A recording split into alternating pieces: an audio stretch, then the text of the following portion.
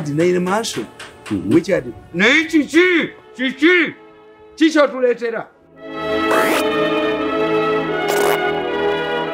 It pains me to see that we are going back. A minister in Museveni's government goes to parliament and reads a list of people who are detained. Can you imagine? Another person, Bobby White, reads a list of people who are missing. Mm -hmm. Who killed these people? whenever you see soldiers, to the people, pushing the people into these drones, mm. are we different from Amin? The Amin, it was a time when Amin used to pick police mm. from Paru police. Mm. Amin used to to arrest people, including the chief justice, in their right. Mm-hmm. Amin used to put people in the car boots. Mm-hmm. Are we not seeing people being put in the car boots?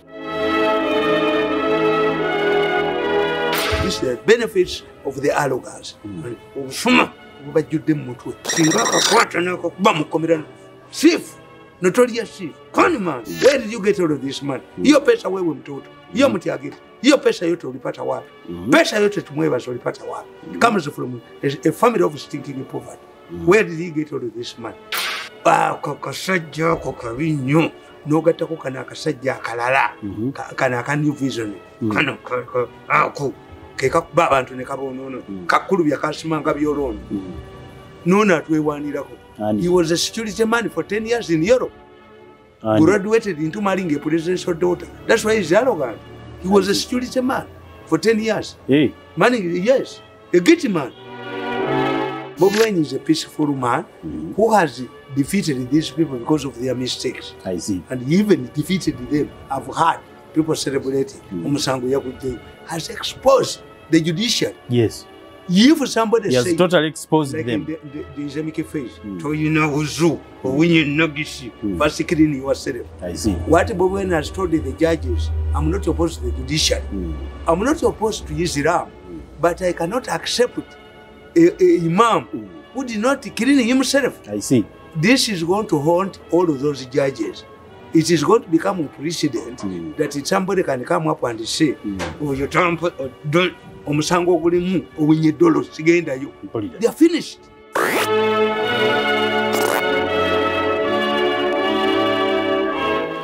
uh, mbaniriza nnyo yenze kanka kapita yenze producer wa tm online television nze gwowulire eno kuba nze nkuweereza program eyitibwa political dos sigenda kubalwisaayo olunaku olweggulu nafunye akasimu nga kava mugamu ku maka ga mukama wange zefu twamala emirundi siniya nga akasimu kano kagamba nti mafiya egobye tamala emirundi mu nyumba takyasula mu nyumba olwaleero mukeereza nkokola ngaabasiraamu basala zuhuri enjuba eyo gyolaba egenza okusituka ku ggulu nga naggusa edda mu maka g'omukuku nav yosefu tamala emirundi siniya abasirikale be basoose kuŋŋaana kuyingira nga bagamba nti mukamaawo akyebase mulinde kafuluma ettenti naye oluvannyuma banzikiriza nentula mu maaso ga tenti eno nkakasize eddala oba mukama wange mweyasuze tenti eyo gyolaba ah, mirundi mweyasuze kasinabakenda maaso kubabuulira wakyali muno mutemumanyi mwali mundampulira mbajjukizaako ntambula ne haji biyinzika haji biyinzika omusajja ono omusomi wedduwa golaba ku sikuriini awo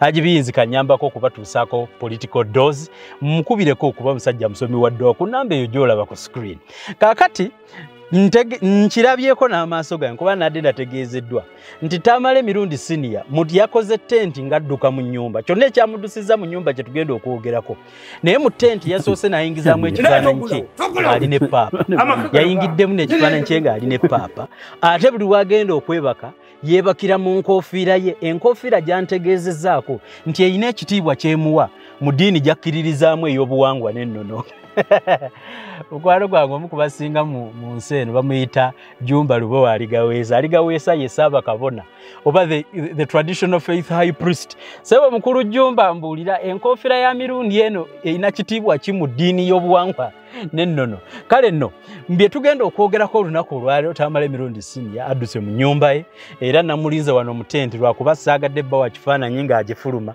abasajja abali mu kinu tebafaanana bulungi kutunuulira wansi eno ku magulu kyevudde ekifaananyi nkisalamu naye mputuddewo mpaka lwafulumye mu tenti eno kyonna ekyamututte mu tenti nze naawe kati ate bwafulumye mu tenti agenze mu kyapo ye alina chapo gyakeramu okusaba bwafulumye kakati nze ntandikiddewo program nga bwava mu chapo buli munnayuganda wenna bwoli nkujjukizaako nabazigira woyinza okujja omulimu ogukuwa ssente bangi mwenna abagende bweru tolina skills zikumala kusobola kufuna mulimu ogugenda kukuwa kasente kegasa nabagamba waliwo academy eyitibwa rost coffee academy rost coffee academy eno eri mu abu dhabi ku alwahida okulirana alwahida mall ku luguudo olugenda ku kisawo bagiyita airport road kwatagana ne mukulu taiga sharif ku namba zesimu zolaba ku screen basobole okutendeka skills ezenjawulo ezirimu coffee profiling uh, coffee roasting bakuyigiriza barrister skills bakuyigiriza late art bingi nnyo nosobola okufuna omulimu ogukuwa akasente ate gwe ali mu uganda nga waali agadde okukola omulimu ogukweyagaza rost coffe esobola okutendeka ngaekujja wano mu uganda neyekutwala ate oba tonnamaliriza kusoma koosi kuggwako ate ne bakufunira omulimu ekyo kyekyenjawulo so nyongera okubajjukizaako aba rost coffe academy mu abudabi musobole okubeera nga mubajjumbira kakati muzeyitamala emirundi siniyawuuno atuuse katuteekeko likoda ntegere muzeyi mafiya emudduse ekinsesa mafiya mafiya edduse etya mirundi mute mu nyumba ye n'atuka okuba kati ng'asula mu tenti kamanjulira ekitundu kyaffe kino ekya political dos ne muzeyi tamala emirundi kuba wuuno atuuse tulate tubeere nga tugenda mu maaso tulwaniriza nnyo mwebale kutuwagira mutabani wa mole namatovu mirundi yosefu tamala emirundi sinia muzeyi gyebalekosebo But it taken time. Mm. Some people thought that I had abandoned my platform, mm -hmm. which I cannot do. Mm -hmm. Because where I have been fighting this battle, mm. first of all, they underestimated me because they are arrogant. Mm. They thought that they will throw me to president's office, -hmm. which I rejected. because I knew these people. Mm. I worked with these people for 14 years. And it gave me time to analyze mm. how they perform, their performance, mm. their strongest points and their weak points. Hmm. I rejected the scholarship to go a PhD hmm. in the United States. Why? To call it systems analysis. Hmm. I want to know how this mafia gang operates. Mm-hmm. Unless you know how something operates, like a disease. Mm-hmm. Unless you analyze, that's why people, many prisoners don't want to go to hospitals. Mm-hmm. They go to clinics. Because at the clinic, they just dictate to the nurse. yes. Have fever, mm. I want this. They fear to take a lot of time for mm. examination. If you cannot diagnose a disease, you cannot provide a solution. Work. Mm. So I worked for these people for 14 years. I found out that there was a subterfuge mm. in this government. Mm. In many cases, Museveni relied hmm. on uh, mafias. They had created a cable around the president. Hmm. to renew that Museveni respects institutions. Mm -hmm. If you want to kick out somebody, get in Nakalima's office, they undermine the IGG. After using it, they dump you. They undermine Muliagonja's office, the IGG's office. The editor general, at one time I chose the, the first lady mm. of traveling to Israel eight times a week. I saw these people scrutinizing that in parliament. How? Imagine. How? Because the from Tel Aviv to Entebbe it takes eight hours. Mm. So how could this woman, the first lady, go to Tel Aviv eight times? They were suspecting that, that they were just writing ah. uh, for, for her to steal they money. No, mm. according to mm. Car, uh, eh, parliamentary committees, mm. auditor general, they have demystified all institutions, They sabotage subterfuge. Mm. So therefore, I have a proper analysis and evaluation mm. of the mafia gang in Uganda. Mm. Mm-hmm. In fact, in my opinion, mm. Museveni is a victim of the mafia gang. Mm-hmm. Yes. A full president yes. to succumb to the effects of the mafia gang. Of the mafia gang. Mm-hmm. In all the age, mm. Mm-hmm. is natural. Mm. Many people resort to their families They resort to religion to prepare themselves for heaven, to meet their creator. Mm. Museveni relied on his family members mm. who had a, eh, a, eh, who had already created a successor for him. Mm -hmm. That's why this man, younger man, is stubborn. Mm -hmm.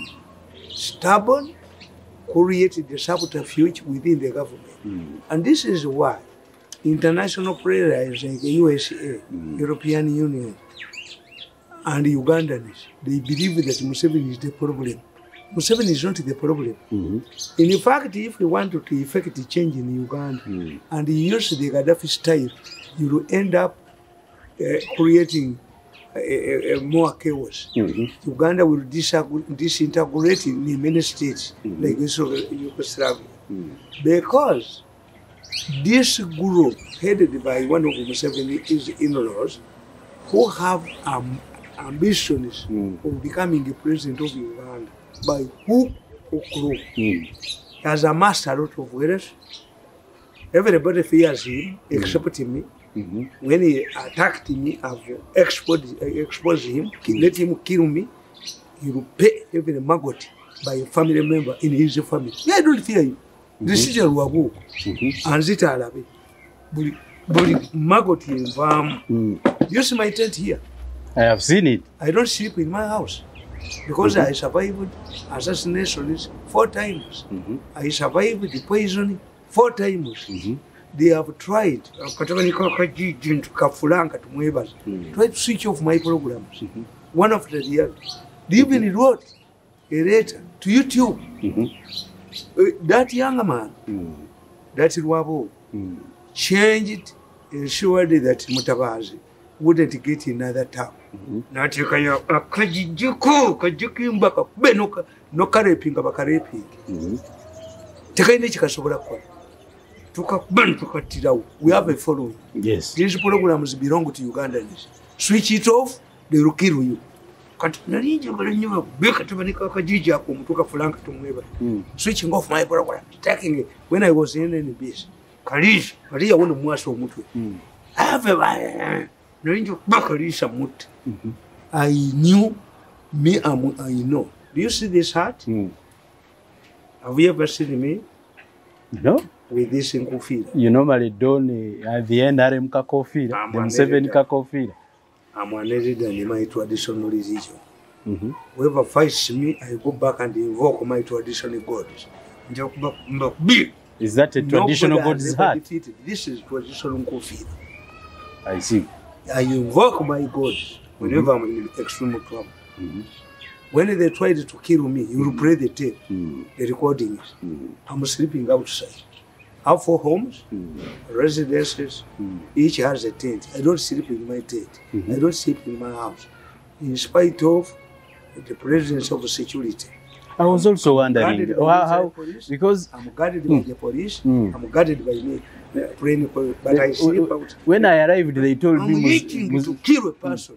I'm reaching to kill one of the mafias. When I arrived, when I arrived they told me... Muzei mm. is in a tent. Yes. I, I was imagining all these houses. How do you sleep outside the tent? I, I want to grab one of the, the mafia gangs. Are you serious? A member of the mafia. Nchapala mbenyo ndo mbati. Ewo, ewo, ajakta ajakujaya. Sisula yo, sisula mungu. Hey.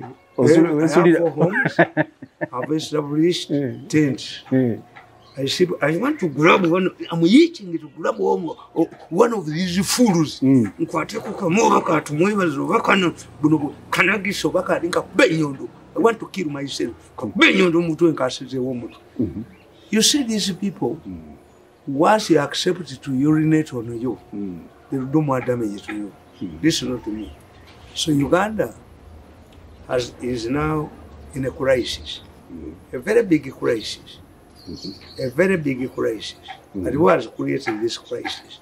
And I've been writing, mm-hmm. I've been writing. But because of the arrogance, these people thought that I was, I could be compromised with money. I want compensation, not a bribe.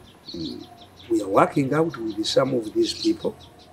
and they are going to compensate me with the big money. Mm mm-hmm. I will never work with this government again. Mm If they don't compensate me, then the battle continues. Mm Nobody can kill me in Uganda. Mm Nobody. You kill me, you pay for every maggot mm by a member of your family.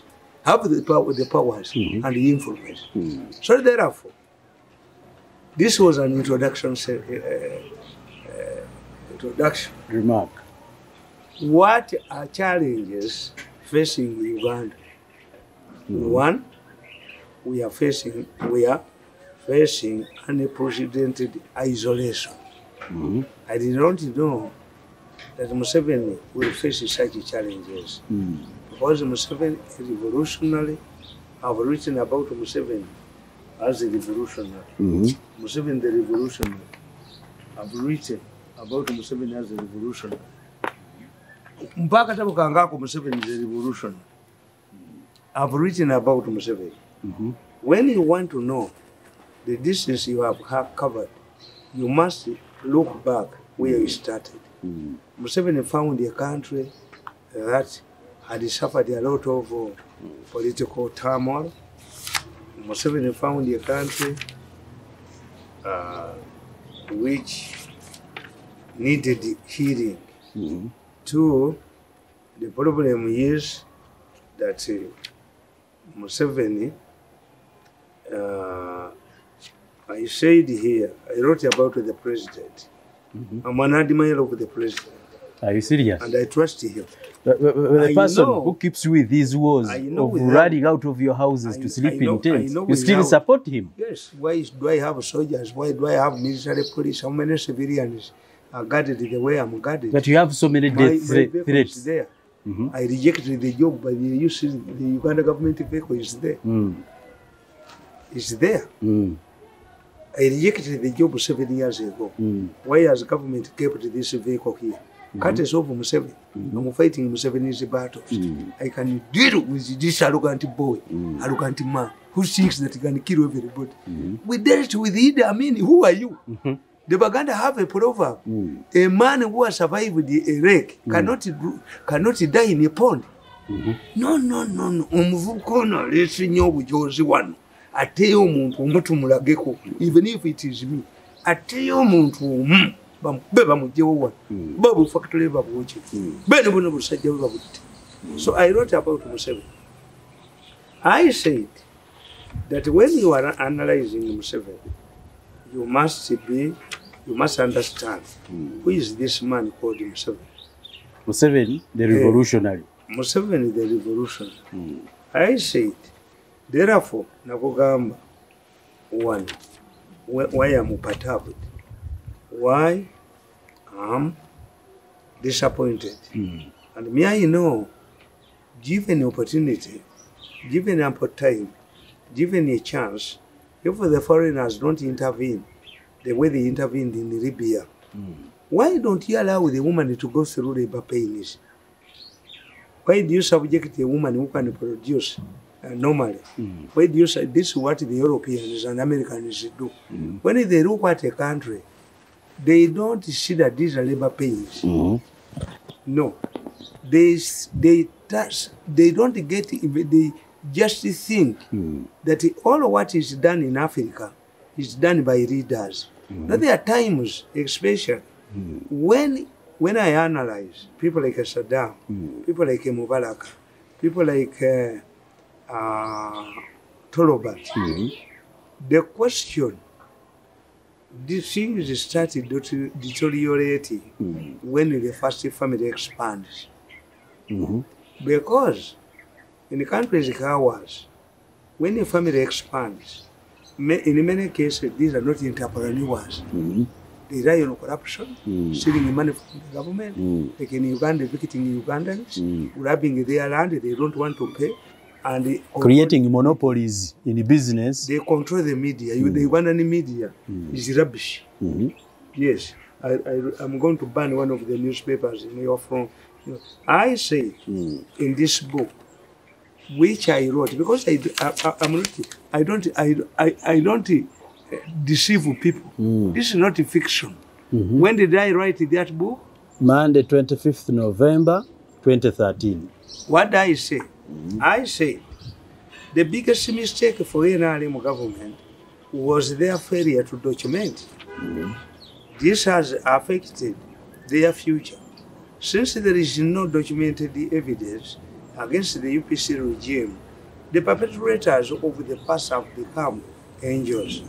In fact, UPC leaders have no moral authority mm. to criticize the performance of NRM because of the because the record stinks. Mm-hmm. What pain is in me is that pa- when Paul Mwanga, former vice president, appeared before the Human Rights Commission, mm. investigating, probing, human rights activity uh, eh, eh, violations mm. from 1962 to independence to when Vienna took power. Paulo Mwanga made a statement, mm. hmm a futuristic statement. Paulo Mwanga said, by the time you people leave power, and the Commission of Inquiry on the Human Rights mm. is instituted against your government, it will come out with startling evidence. Mm. hmm If Paulo, Paulo Mwanga is dancing in his grave, Mm. Because of the atrocities that we accused the APC government of doing, mm. we have done them even more. Are you serious? I'm telling you. I'm mm telling you. Mm-hmm. It is also this lack of documented evidence on the NRMC initial stages as a ruling party that is giving the rejects like a Dr. message and the group the judiciary to say that NRM deviated from its original principles, mm. which itself is a lie. Do you know that the current problem was created by Dr. Besig and Bobby White? Why? Mm. Mm-hmm. Besig, after destroying his party, Besig is part of the mafia gang. Mm-hmm. Besig was never an, an opposition leader. Besig relied on funds from locally, mm. and that's why whenever he committed atrocities, the, the judges could release him. Mm. Ogola, mm. the shameless Ogola, the former principal judge, directly ruled that Besigye could be nominated as a presidential candidate while in prison. Mm. He also granted Besigye bail on a treasonable offense. Mm. Ogola, Ogola destroyed the foundation of the judiciary in Uganda. But we thought he was so so established in the, in the judge That's why. Has he the judiciary? ah, Ifogola mm. was a good performer. Mm. He even wrote a book, mm. like a mama. Mm. A judge cannot be a poet. Let him go and teach literature mm. in, in, in Mukere University. Why many judges, younger judges, mm. Sebutinde, Bosa, mm. and others have found their way outside Uganda. Wacho ogolo yakonera wano we call it okukona. Okukona means half cooked. Ogole he changes himself. Is it a judge, a fairy judge, a fairy judge? Are you serious? Yes, he did. But during his time, Ogola killed mm. and interwove by the principal judge, mm. they killed the judiciary. Museveni wanted to build in this country. Mm -hmm. I tell you. I have briefly explained the previous Seven period. I was talking about Besigye. Mm. Where Besigye, after killing his political party, mm. have recorded where he sat in a meeting mm. and agreed not to stand. Mm.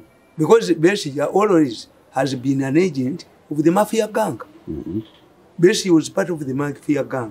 His role was to prevent a, a, a, a creation of an opposition leader. estrongo mm. one besiyete ekibiina kye besiye nakola ki nayonona ekondome tasobola kufuga ggwanga besiye bamuteekawo kutau nga tajjaako museveni naye nga ali ne bamaaobubobiwai kati besije hmm. kurie emis says there is part plan p mm. but besije is announcement arose from a meeting with the, the mafia gang. Mm. They wanted to intimidate Museveni that there was a plan B. Mm. All the arrests, detentions, murders were as a result of Besigye's statement. Mm. The president was given a report from all the security forces mm. that there was a plan B when it was a, a myth. It was intended,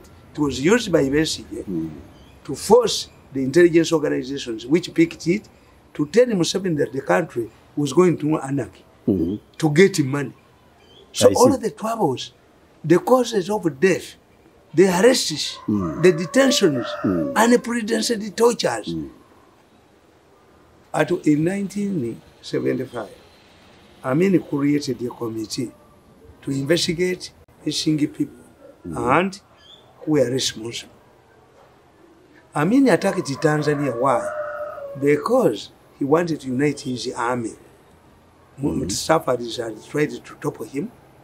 He was uh, getting very from Musafaris, his former vice president, Charlie Salove, wanted to topple him. Mm-hmm. So he, mm-hmm. wanted to unite his forces by creating an outside enemy. Mm-hmm. It pains me to see that we are going back. Mm-hmm. Yes, that uh, government a minister in Museveni's government goes to parliament and reads a list of people who are detained. Can you imagine? Another person, Bobby Wine, reads a list of people who are missing. Mm-hmm. Who killed these people? Because whatever you want, we shall have the balance sheet. Credit, debit and credit. Of course. When we subject, when we get the uh, Bobby Wine's listing, which I, I think is accurate mm-hmm. because has been following. These people are arresting people in daylight. Yes. Repeating what Aminis people used to do. Mm-hmm. Putting people, pushing people whenever you see soldiers, security people, pushing people into these mm-hmm. drones. Mm-hmm. And they have killed our business. I'm a businessman mm-hmm. dealing in transport. Mm-hmm. Nobody can board a drone vehicle. These days, Yes. They have killed the, the drone business. Yes. Mm. What, what does it, are we separate from? Are we different from Amin?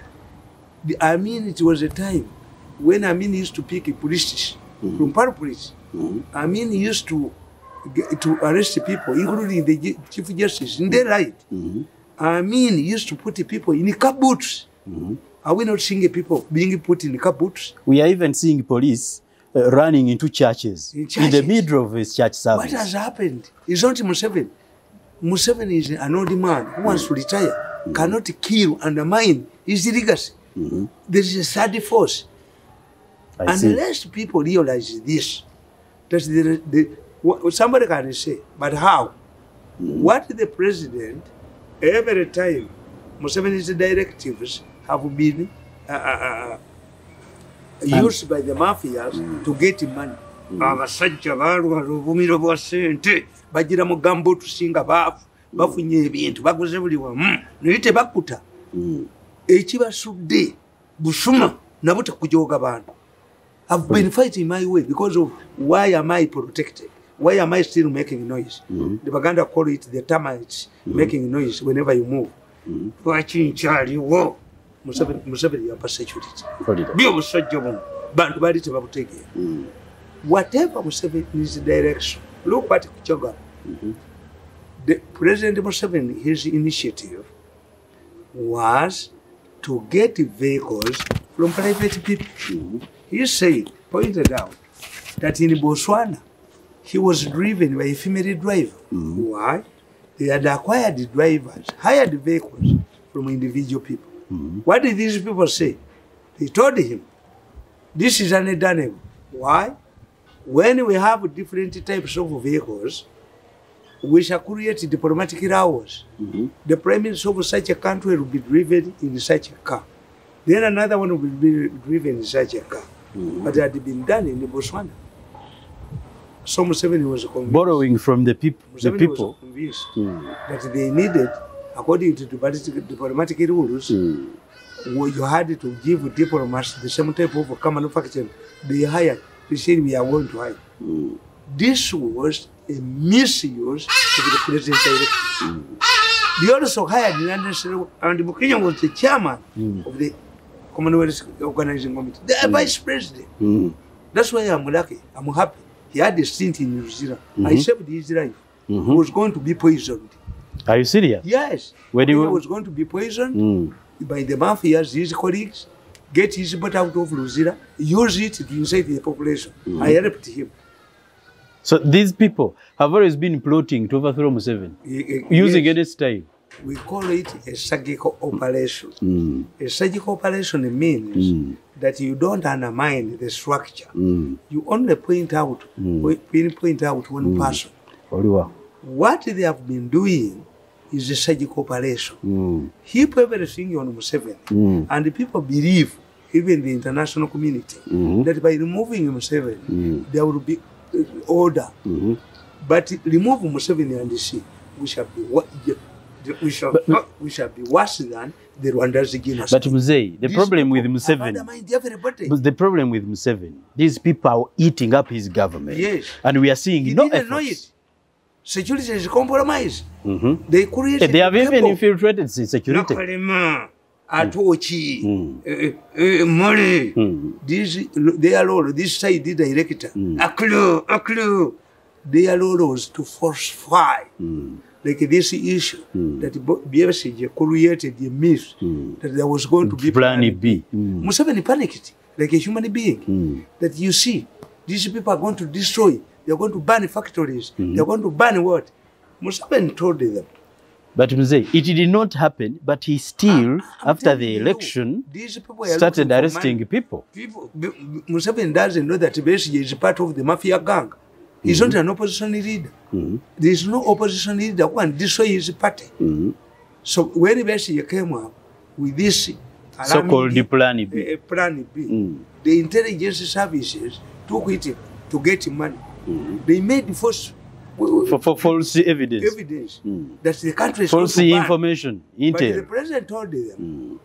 arrest those people, preemptive arrests. Mm. Don't torture them. Don't beat them. Mm. Get evidence from them, mm. and we can rehabilitate them. Mm-hmm. But this was not the intention. The intention was to use the exercise to commit human rights Uh, uh, violations, violations mm. detaining people, kill people in, uh, in uh, uh, detention, safe houses. Mm. It puzzles me. In 1980, the, the UPSAD were notorious safe house, mm. the Argentina house, where they used to take people and kill them. Paulo Mwanga used to kill people. He turned the hotel into a, a torture chamber, mm. like Hitler, where, where he used to take uh, Jews. Mm. But today, we have safe houses in Kololo. we have a safe houses in, in, in we I have another residence. Mm. I'm in Zena now. I have another residence at uh, Chengera. Mm. Chengera. Mm. The the value, the land value, property value of Chengera mm. has has drastically we have lost. We have just nobody drastically can dropped. buy a plot in Chengera. Mm. and I'm going to mobilize the people burn that building there. Mm -hmm. Because a safe house cannot turn into a, a, a, butcher. a, a torture chamber. Yes. So be Juko Kaka turned this into uh, money making uh, uh, sales. Safe houses have been used to arrest people who are fighting for their land, the victims, mm. those who have been evicted from their land. Hmm. people who are coloring over business, mm. people who are coloring over, over, women. Over women. This is the, the benefit Kaka has brought, did bring to Museveni. Can you Before imagine? Kaka took over as mm. boss, mm. telling me, mm. who was talk- where, where are we talking, where is talking about safe houses? No. Safe houses were established by the colonial government. They have in been the, there. And actually, no one almost yes. knew that you had safe houses Even the in whichever money, places. They allocate money to maintain. Mm. These were intended to separate hardcore criminals. Hardcore criminals. But this time because around, if you keep the arresting someone who is place, fighting for his land, yes. and then you take him in a yes. safe house, come, come, torture come, come. him. Why doesn't Biden call, uh, treat Kaka like a, a, a bin Laden? I see. Some of these people must be, we must be helped by Bin Laden, by, mm. by Biden, Paris Diamond, take them to get to Guantanamo. I see.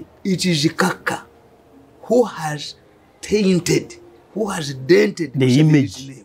And Kaka had been Eh, eh, eh, expelled from the sacked mm -hmm. after the burning of Bulang, mm -hmm. which was the headquarters mm -hmm. of the, the, the army at that time. Mm -hmm. That Bulang building was burnt down mm -hmm. because the man had been stolen. And Kaka was one of the suspects. I Why see. did Museveni bring Kaka back? Mm -hmm. Is he under Kaka's tenure mm. as ISO boss mm. that safe houses featured prominently. Yes. And the Minister of uh, Security, uh, mm. Eric Mwini, mm. did not realize this. And when they went to parliament and parliamentarians no. wanted to visit, he said no, they shouldn't go there to see. They were helping mm. the enemy. You see, it is easier mm. to know that a, a bright student mm. has declined in performance. Mm. Museveni's excellent performance on human rights. Mm. He even instituted a human rights commission. On even refugees. Yes. Mm. They can be easily, if Museveni is like a, a, a, an excellent performing student. We can easily can know. Easily, mm. That we is... can easily tell. That's hmm. why hmm. these arrests hmm. these killings, mm. the detentions without trial mm. happen in other countries. Mm. Can you compare this to under genocide? Can you hmm. compare this to the killings of people in Kenya in 2007? -hmm. This is a, a drizzle. But because of Museveni's excellent record hmm. on human rights, -hmm. a dot is identified as something big. This is what the mafias don't understand. And the, the problem is, he's tricked into making statements after wrong things are done. No. So people attribute whatever is they, done. What the president does mm. not realize, mm. I, I, he rang me at one time. Mm. He told me we're attacking Musisi. Why? Mm. And they were tricking. There was a tricking question. Mm. Musisi and the Tumwebas were destroying the city. Mm. At one time, They defeated us in 2011 in Kampala mm. by a margin of 4,500 votes. Mm. All the councillors of Kampala belong to NRM mm. until tumwebaze tumwebaze Frank Z. the notorious Frank tumwebaze. Mm. These are people Biden should identify mm. instead of destroying our country. Mm. Identify people like tumwebaze. Mm. Uh, Take, treat them like a, eh, like a Bin Laden. Mm. Pluck them out. Take them to Guantanamo Bay. Yes, take them to Guantanamo Bay. Mm. And, say, and don't destroy our country. Mm -hmm. Kakati oyo omwana tumwebaze bwe yajja ni musisi. Because what you don't know, mm. why do we have troubles in Kampala? Kampala is not a capital city. Mm -hmm. Kampala was graduated from a village. Mm -hmm. These were villagers. We even have value sites in Kampala. still existing in the city. You cannot rule Kampala like Abuja. Mm -hmm. You cannot rule Kampala like Dodoma. Mm -hmm. Kampala would be like Washington, mm -hmm. DC, District of Columbia, mm -hmm. this is the District of Uganda. Mm -hmm. We, they, they were natives here. Mm -hmm. But uh, the colonial government had to center its presence here because when you read that the colonial occupation, they did not consider other areas important. Mm. As long as Uganda was able, under a uh, dictatorship, mm. to produce cotton, everything what the police wanted, it was near the lake, Simas could transport to Kisumu mm. and eventually under the railroad. -hmm. So, Kampala, when any person who, is in charge of Kampala mm. must understand. When he arrests Mutembe, where does he go? Is he going to migrate somewhere else? No. He will become a criminal. I see. because he doesn't have. A Muganda cannot go to Mbalala mm -hmm. because Muganda has been occupied. This is what they don't know. When he evicted a Muganda from his land, he will remain here. Of Where course. will he be welcome? Ngaku. This is what they have. This is the benefits of the Alogas. Mm -hmm. I'm a tough man. Why? I've survived with five times. And I'm seeing my country is going to burn the Caribbean. Mm -hmm. out of these, these people, the mafias are not more than 20 people. Tibasuka makumi abiri. Kakati nkuba. Ni lwachi mukamba uyita bikwatira. Lwachi tabikwatira ko nyeke nyu. Ya mm. yono nye family ya Museveni. Singa kakwata na kakuba mukomera. Chief, notoria chief. Kwani man akakasaja mm. katumwebaza. Mm. kekonoonye buli kamu kanereegamu hmm. kajjako porogulamu jakimba bin obwoteri bwoba hmm. bwoke where did you get all of this man hmm. iyo pesa wewe mtoto iyo mutyagiri iyo pesa yote olipata wapi pesa yote tumwebaza olipata wapi comes from a family of stinking poverty where did he get all of this man ah, kakasajja ako kabi nnyo nogattako kano akasajja akalala kano aka new vision kano ako kekakuba abantu nekabonoono kakkulu byakasimanga byolona nono atwewanirako he was a security man for 10 years in europe Ani. graduated into maringe presidential daughter thats why hes arrogant he Ani. was a security man for 10 years hey. maringe yes a git man kivula batujoge bweyagwa mu bintu weyasanga bagaayagala babuwazaaganda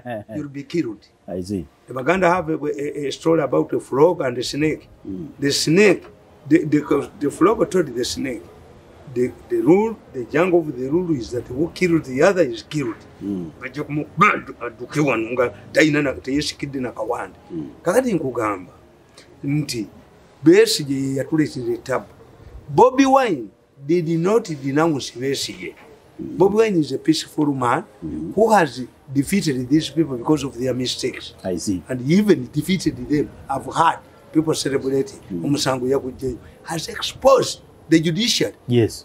If somebody he has say, totally exposed like them. In the, the, the Islamic faith, mm. toyina wuzu or hmm. when you nogishi, mm. first clean yourself. I see. What Bowen has told the judges, I'm not opposed to the judiciary. Mm. I'm not opposed to Islam, mm. but I cannot accept a, a imam mm. who did not clean himself. I see. This is going to haunt all of those judges.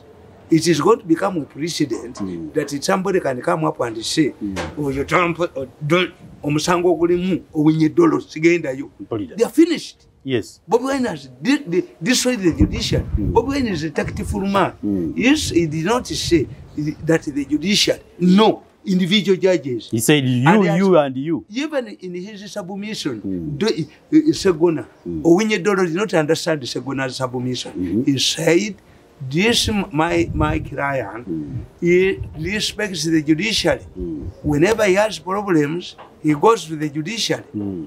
he does not say that he does not respect the judiciary mm. but his problem is with individual judges hmm. abo bawunyidde olwo tebajja kukozesa musango nagumu hmm. everybody will pick if you are rejected in somebody's case mm. why do you preside over mine mm. I see. They didn't know she. Did you get a big kid? This is not a normal case. Mm. This man mm. said, mm. let me appeal to court. Regarding Kugam, hmm. I have briefly explained mm. the premium severity period. Mm. Those who lived in Uganda between 1988 and 85 mm. can support my argument that the situation was worse mm. than it today. No. Hmm. This is worse than tomorrow, yesterday. We usually underestimate phrases mm. like a 12 court law. Mm. mm. at least we can sleep. And when Muganda talks about sleep, it does not mean the ritual meaning. This means access to conjugal rights. Since many families slept in the churches, mm. obviously mm. wouldn't engage in the sex. And this explains why. After the NRM take over, mm. the peasants congratulated themselves that at least they could have sex with their wives in mm. peace in their homes. this is what they mean by twelve kotulo. Mm. When the, you see, when you want to understand mm. the feelings of the society, mm. you must understand their phrases. the slangs, mm. mm. the slangs mm. of, the, of the, that is society. Twelve kotulo. Mm. The Baganda don't mean sleeping. Mm -hmm. Accessing their wives because. Hey. Yes, would you go right? I see. Because Njema nkitegeeza nti leero tusobola okusula mu nyumba ne bukya. People used to sleep in churches. Mm -hmm. How could you make sex, make love in churches, mosques?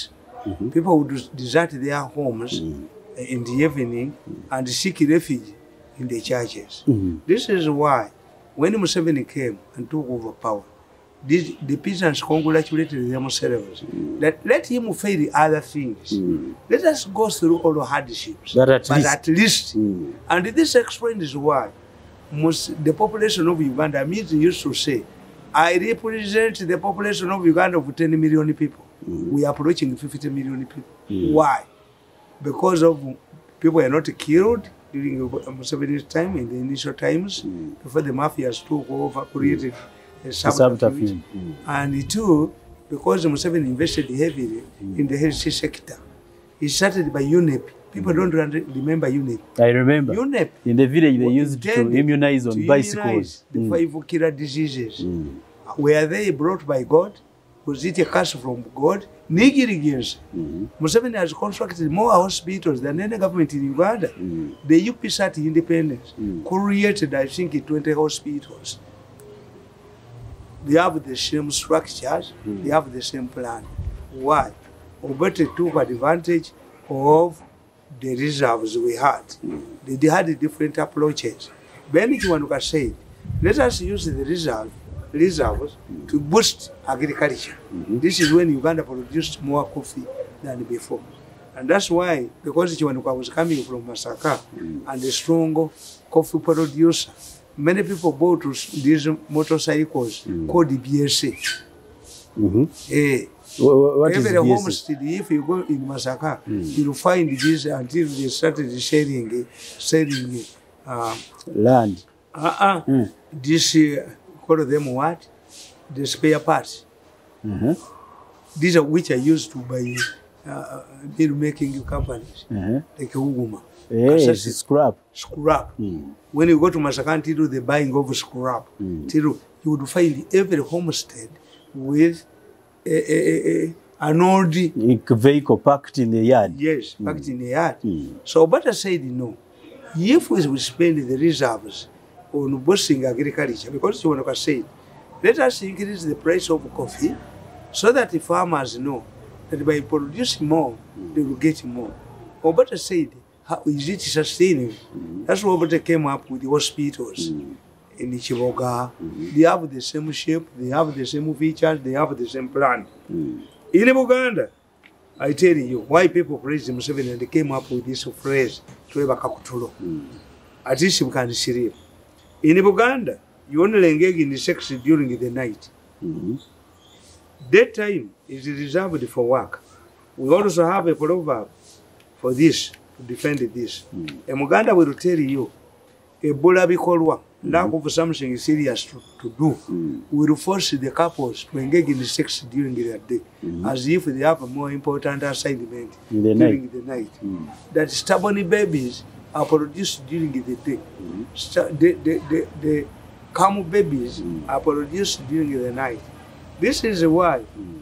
in Ankole, among the cattle keepers, mm. like the president, they don't eat chicken. once Why? you eat chicken, the mind of the body will not be settled like a flying bird. Mm-hmm. Yes. Societies have different. Uh, uh, I mean, ebola bikolwa Liwa enva mm. meaning that idleness during the day can incite, can incite the couple when getting in sex during the day mm. as if there is better work during the night. Mm. It means sex is only reserved for the night. Mm. So if Ugandans were sleeping in the churches, who could sleep with his wife engaging in sex during the church mm -hmm. in the mm-hmm. church? Mm -hmm. So this is why they brought the phrase mm. congratulated themselves when Museveni took over mm. and restored the security. era museveni ekimuyambye okuvuga emyaka asatu mu etaano security mm-hmm. ugandans iteriyo that another monument of uganda's tabulent history is the Kampala suburb called Half London. Mm -hmm. Many Ugandans don't know why Kampala is called Half London. Mm -hmm. These are futures that our historians, our politicians, the mafia gang, which the mafia gang are except, especially mm -hmm. these younger people headed by Museveni's in-law, the one who wants to take it to succeed his father-in-law by hook, hook, hook. They don't realize she is. Mm-hmm. In 1985, following the overthrow of Obote. leading to General Twa's takeover, Kampala, the capital city, was balkanized, and each warlord from the fighting groups like the former Ugandan army, Rescue Front, under Moses Ali, now serving deputy prime minister in the government, was given an area of control. Mm -hmm. Kampala was balkanized. Mm. balkanized. Mm. Each fighting group had an area of control. Mm -hmm. So Kaira took over the eastern side of the city.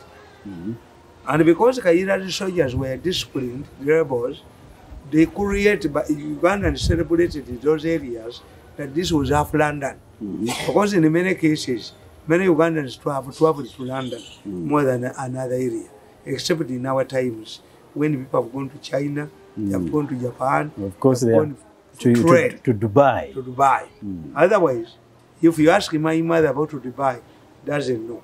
But at least he knows Japan, London. Mm. Japan was not known for anything good. In fact, Muganda regards a non-durable thing as Japanese. Mm -hmm. Japan, mm -hmm. it was a cross used for barriers. For body Japan. Mm -hmm.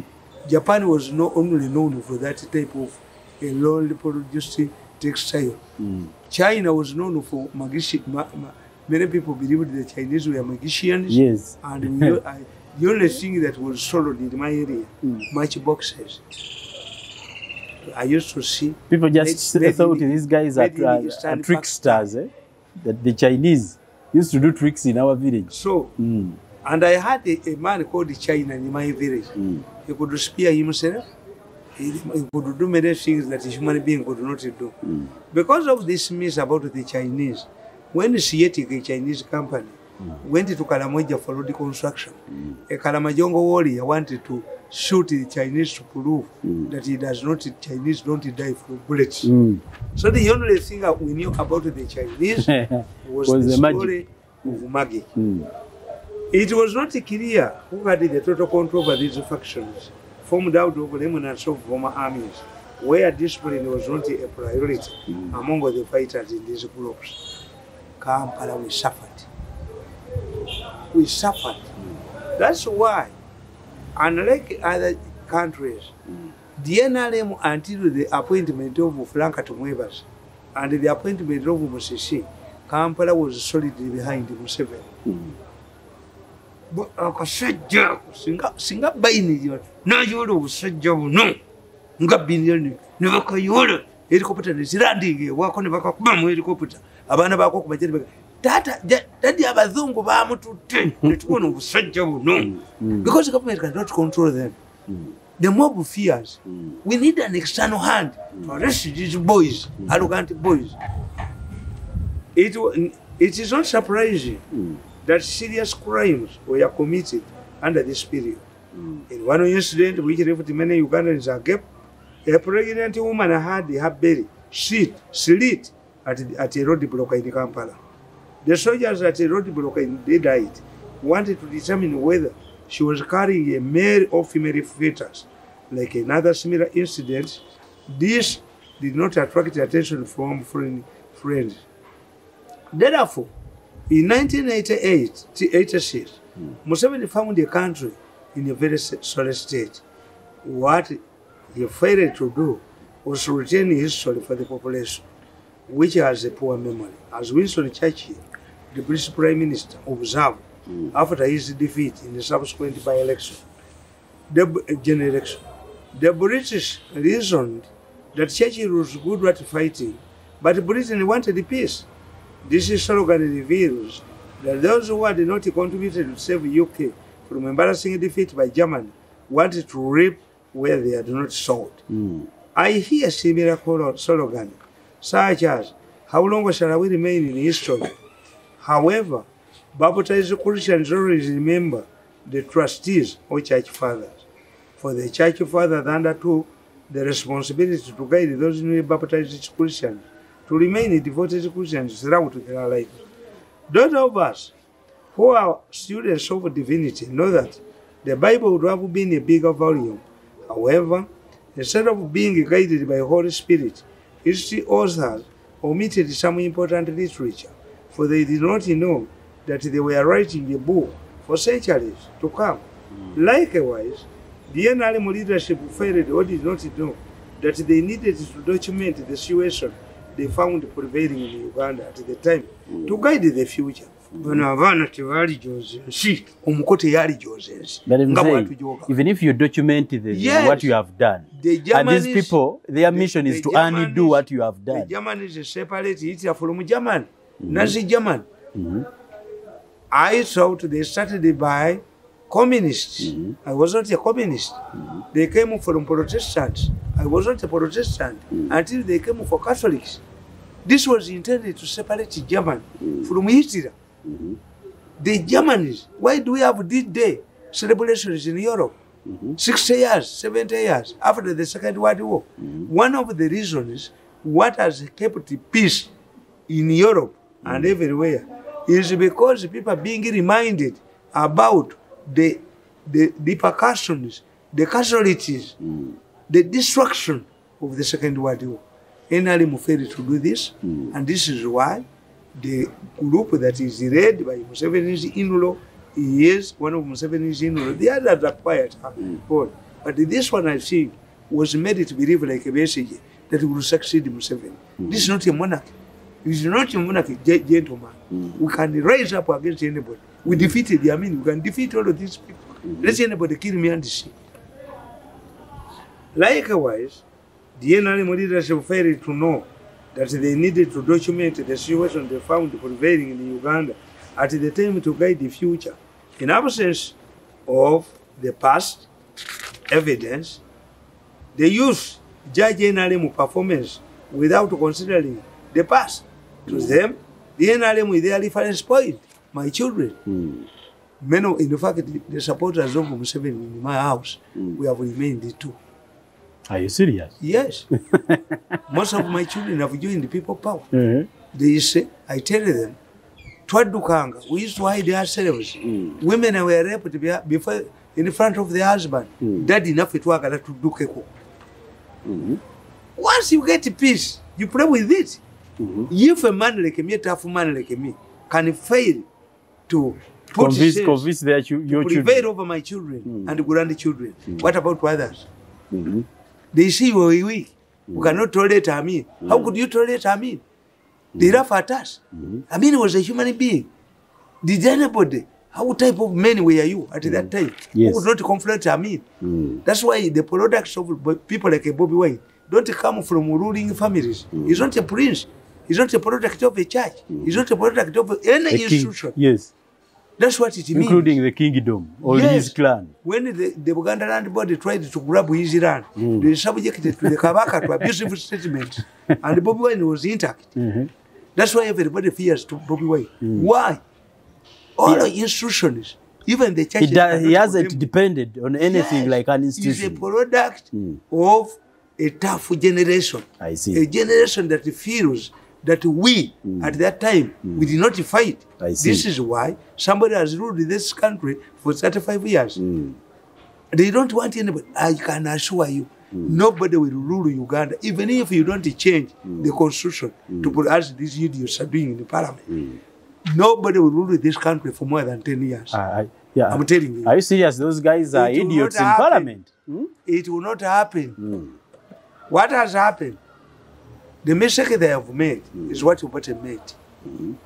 If you kill people, put them in detention or detention orders. That's like Arrest them. A detention day. order is comparable to putting somebody in a, a safe house. I see. He cannot access judicial services. Mm. This is what uh, Kirunda used to move.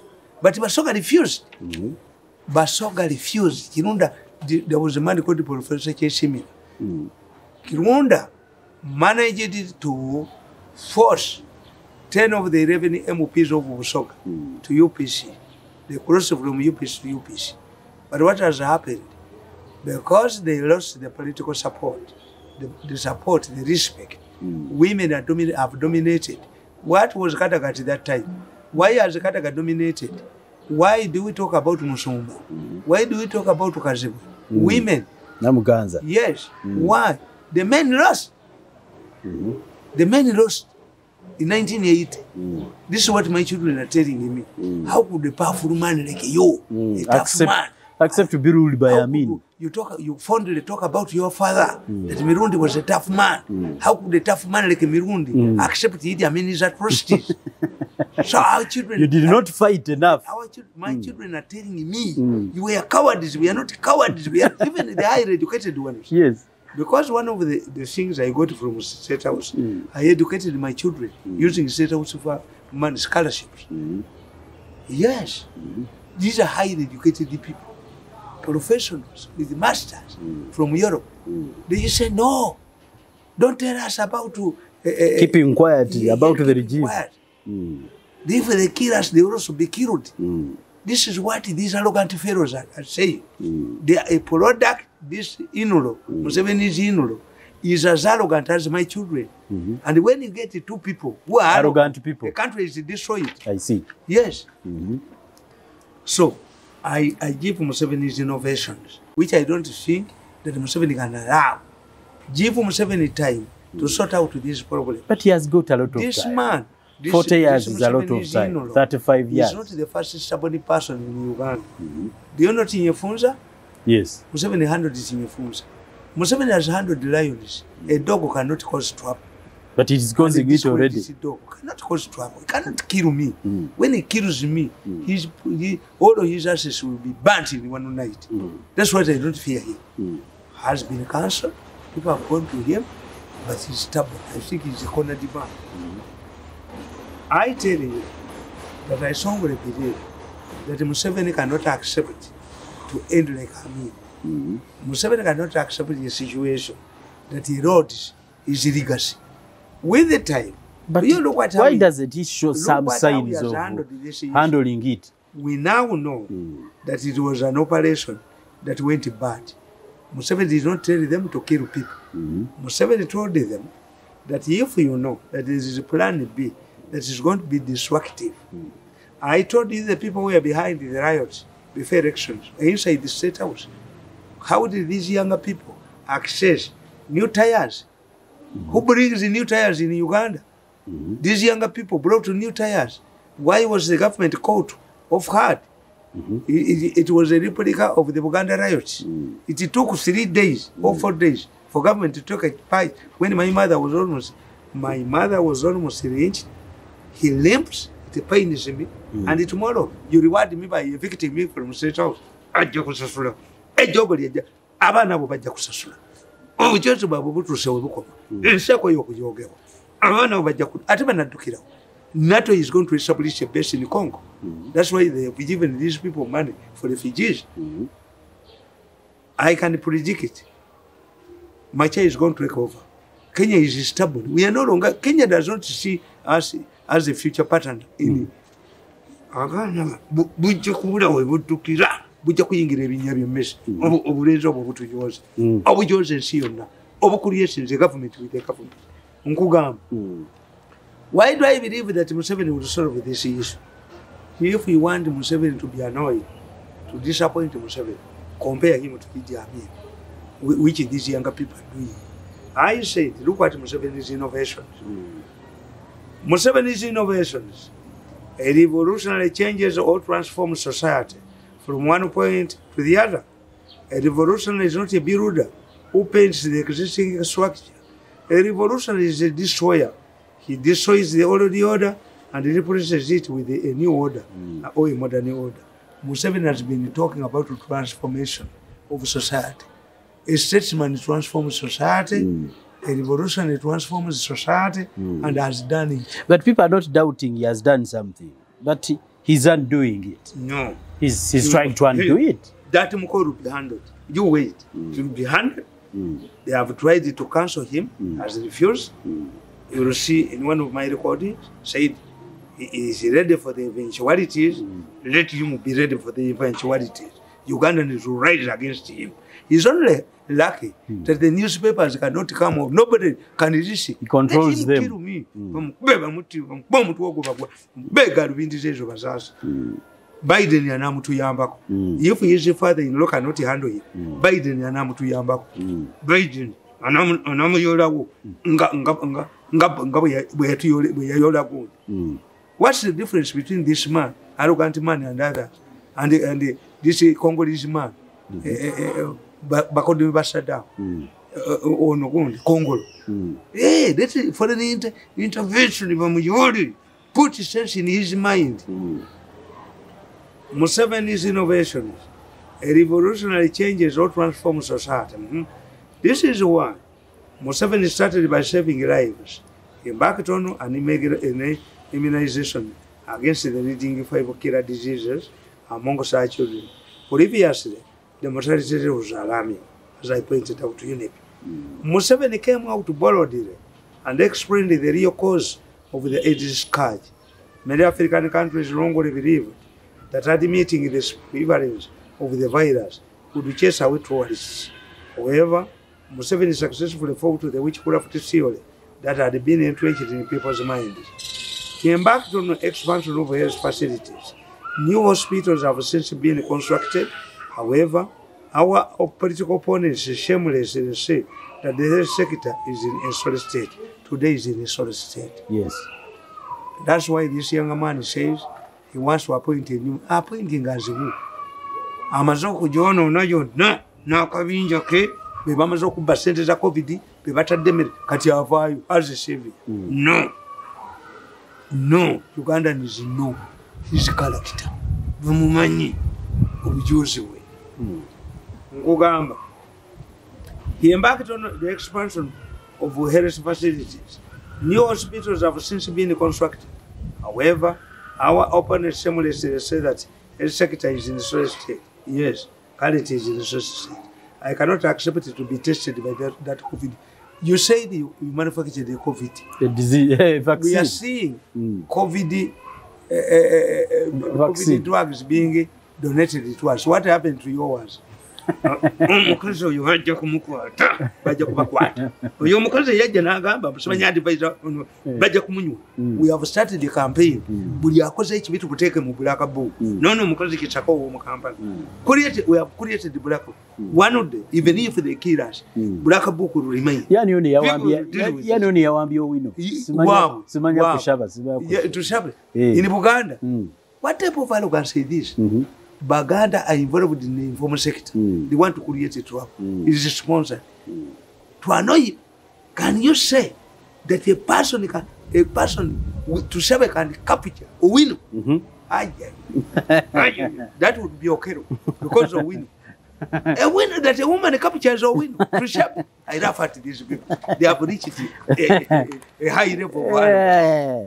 babita sibaya kushaba we mm -hmm. not support that woman. Suza likushaba. But, but that woman will pay. Chisaka mm -hmm. will pay. We have decided to put up a black bull. Mm -hmm. All of the Baganda who have been used as mm -hmm. hunters, mm. hunting mm -hmm. dogs, will pay. I'm mm -hmm. not trying, even in other areas, mm -hmm. because this group of mafias mm -hmm. have terrorized everybody. Mm -hmm. Declaring mm. and ending quarantine. Mm -hmm. because they Almost everywhere. The mm -hmm. They put it. this church kuba in actually rabira makema last week Ruami last Rama. week ruamira ma mm. ruamira ma and likira the new current ruamira ma thinks that uganda is a fools mm. ruamira ma thinks that uganda is a fools mm. ruamira ma does not know does not evaluate and assess mm. i hear of such a people mm. that you don't know are you sitting when you can capsize mm. observe two things mm. when you see something running mm. on a uh, high speed mm. you know that is a crocodile. And mm. crocodiles don't come for its humanization. Mm. Two, when you survive, are you sitting on a hippo back mm-hmm. or you are sitting on? Oh, Does the Wamiraman know that the Chinese have decided to confiscate all properties in their country? And they said, mm. but bluntly, the Chinese have told the government, don't blackmail us. Mm. For us, we know even if Museveni goes, you power money. -hmm. our agreement is not with the Museveni mm -hmm. or mm-hmm. any person in the leadership. Mm -hmm. Are we not pay, pay, paying Russian debts? We are paying. Eh, kati hey. Rwamirama, Rwamirama tamanyi chiri Congo. Rwamirama tamanyi regional politics. Rwamirama mm-hmm. mm -hmm. will caught up. Mm-hmm. Baja musanga wano nga watudde Rwamirama means yazalibwa ku nsozi Emirama mountains. Mm -hmm. How can Rwamirama fail to understand Mm. If you are born on a mountain, mm. or you a mountain, Rwamirama. Mm. Why, why don't How do you, you fail to see, see the, clear the view valley. of the situation in the region. he comes up you, with his own people. It is during the time of his own I country. Tell you, mm. I, I, I question mm.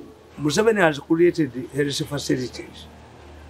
Does it mean that Museveni must be a guard, a security guard, as somebody praises himself that was a security guard for 10 years, he knows the security? Mm. Are you a product? Do you have a PhD in security? Are you Dr. Kaira? If you are a security guard in Europe, does it mean that you can be a commander? Mm -hmm. How many military courses have you even attempted to attend? Mm -hmm. Because he plays his easy stint as a security guard. Mm. So the Museveni turned himself into a security guard at the hospitals. Mm -hmm. If the drugs are stolen, what is the opposition, opposition doing? if drugs are stolen by government officials, mm. what stops the opposition from intervening mm. and expose mm. the government officials who steal government drugs? Mm.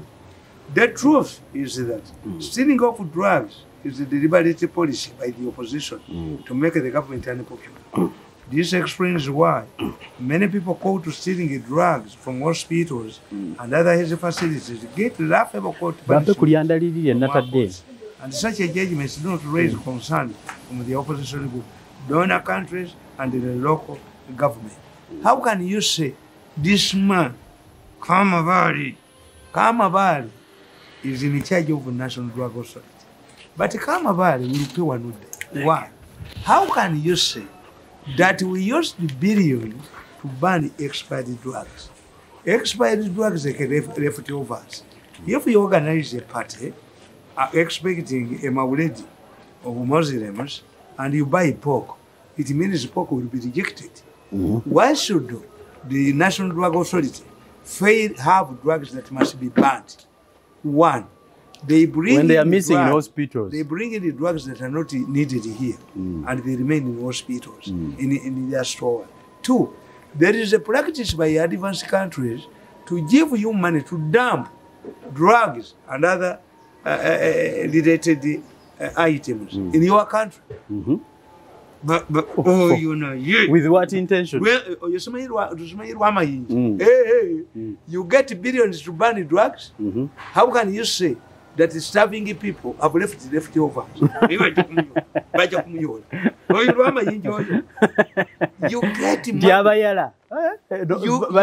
raid, this is mm. shameless fools, mm. raid the pharmacies. Mm.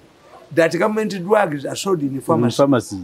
Who, who, mm. who, who is in charge of the store? Who is in charge of the store? Mm. You enter my pharmacy, mm. I smash your head. Mm-hmm. Yes. If you make your encourage your wife mm. to practice prostitution, mm. do you kill people? For, for sleeping with her? Yes. Mm-hmm. You have allowed your wife to practice akukula. Mm. This kama in Japan. Mm. sells his AIDS, sell government drugs. Museveni said, mark my drugs, government of Uganda, they Not refuse. for sale. Don't come in the, that come in the mark. Mm. It's also in danger. Mm. These are people who are going to be this, who have failed to understand, mm. to study the, the change of, the changing situation. Mm.